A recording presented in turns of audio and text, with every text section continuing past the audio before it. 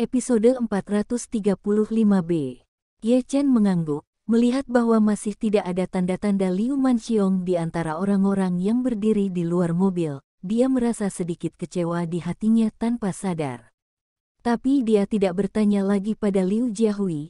Dia berkata, Tuan Liu, ini sudah larut, ayo masuk ke mobil dan pergi. Liu Jiahui melihat waktu dan berkata dengan cepat, Tuan Ye, ada yang tidak beres dengan gadis Manxiong ini, dan dia tidak bisa menelepon. Mohon tunggu sebentar, dan saya akan mencobanya.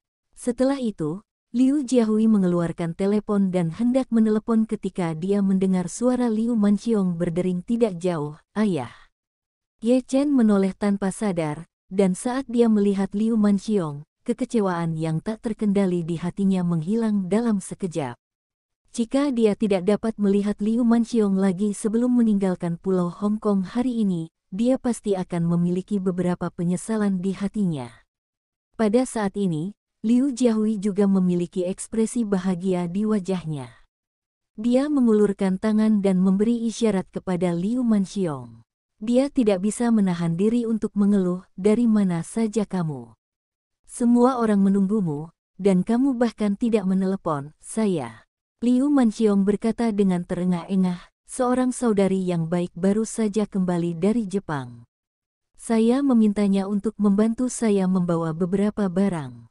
Jadi, jadi saya datang untuk menemukannya terlebih dahulu.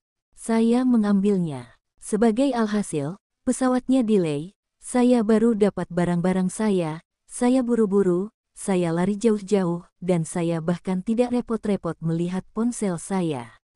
Setelah mengatakan itu, Liu Manxiong datang ke Liu Jiahui, memandang Ye Chen dan Fei Kexin, dan berkata dengan nada meminta maaf, maaf, Tuan Ye dan Nona Fei, karena membuat kalian berdua menunggu.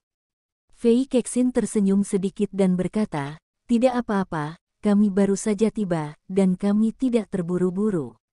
Saat dia mengatakan itu, dia melihat Liu Manxiong membawa sebuah kotak seukuran tas kerja, dan bertanya dengan rasa ingin tahu, Manxiong, apa yang kamu pegang?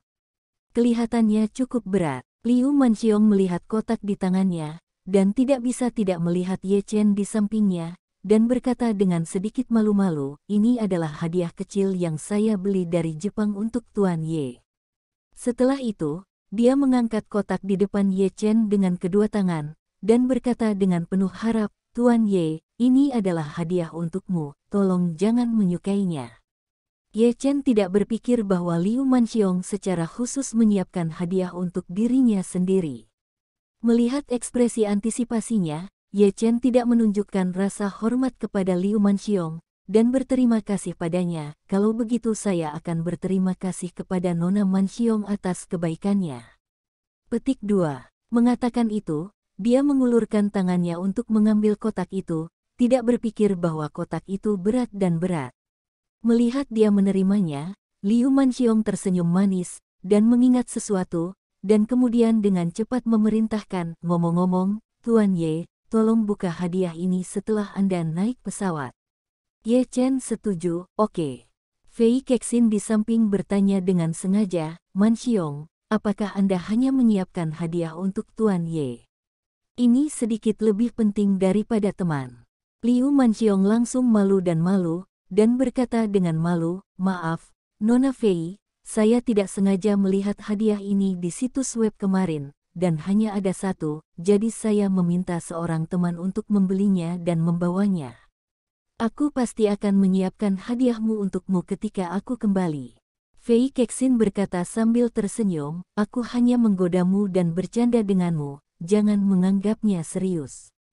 Saat dia mengatakan itu, dia dengan cepat berkata kepada Ye Chen, Tuan Ye, biarkan Manxiong membawa mobil bersamamu, aku akan segera terbang 12 jam denganmu, jadi aku tidak akan merampoknya sendirian denganmu sekarang. Sudah waktunya.